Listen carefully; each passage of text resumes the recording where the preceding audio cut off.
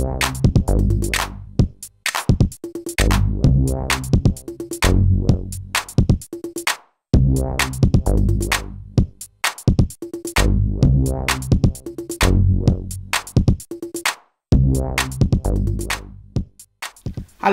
this is Harry from Aires Communication. In this video, I'm going to show you how you can install Telegram Messenger to your Samsung Galaxy S Advanced Cellular phone. For this, you need to unlock your phone. After that, you have to hit apps. At apps, you have to find one option is called Play Store Android Market. Hit this one here you have so many options, apps, games, movies and books. But before that, one most important thing, if you don't have Google account, you can't download anything from here. So you have to do a Google account. If you don't have, check my video how you can do that.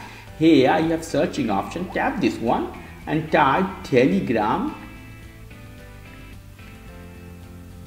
As you see Telegram, hit this one Okay, the top one Telegram and Telegram Talk. You have two options. Download anyone as you want. Hit the top one. Hit for install. Is something as Skype, WhatsApp Messenger. Okay. Accept term and condition is downloading now. It's only 11.88 megabyte. We have to wait a bit.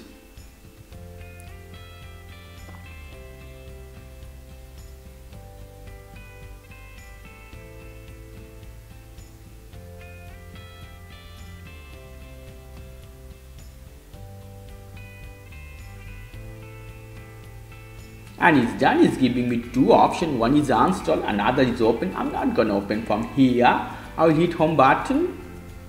I will hit apps and i will slide as you see telegram hit this one.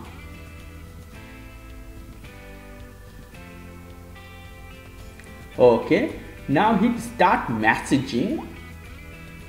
Now you have to put your phone number after that they're gonna verify for you if you like this video, please do subscribe. If you have any question, leave me as a comment. I will try to answer you as much fast as possible. As always, for more information, go to the Aires Communication, www.airescomunication, www.airescomunication. Have a nice evening. Bye.